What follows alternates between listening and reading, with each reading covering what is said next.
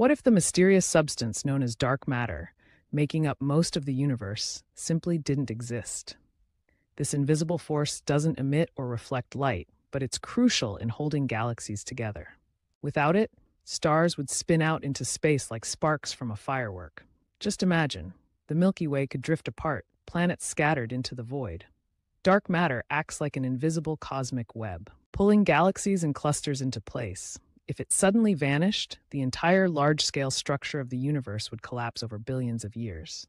No galactic superclusters, no gravitational anchors, just isolated stars drifting aimlessly through endless emptiness.